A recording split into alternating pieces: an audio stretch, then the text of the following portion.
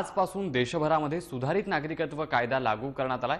केंद्र सरकारकडून अधिसूचना जारी करत नागरिकत्व कायदा लागू करण्यात आलेला आहे. सीए वरून महाराष्ट्र विरोधी केंद्र सरकार असा संघर्ष होणार असल्याचं दिसतंय.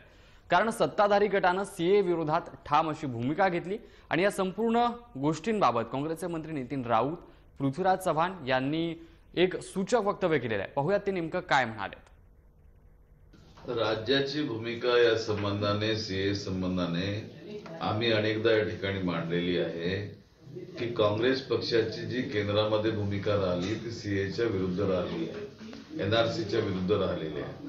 त्यामुळं हा प्रश्नच या ठिकाणी उद्भवत नाही की आमच्या राज्या राज्यामध्ये आम्ही सीए लागू करू.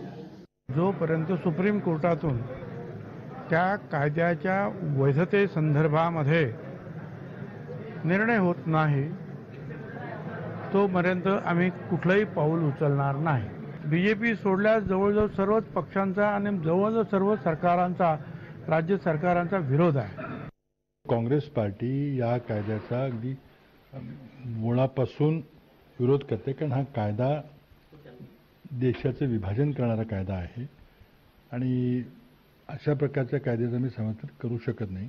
सामान्य जनता महिला सर्व धर्मीय आणि ज्यांचा ज्यांचा सेक्युलर डेमोक्रेसीमध्ये लिबरल डेमोक्रेसीमध्ये विश्वास आहे अशा सर्वांना घेऊन आम्ही या कायद्याचा विरोध करू.